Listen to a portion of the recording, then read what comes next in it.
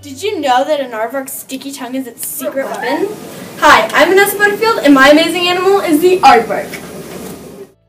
The aardvark has no front teeth. It has these weird, odd cheek teeth. So, aardvark was one of the first words in the dictionary. It comes from the Dutch Afrikaans.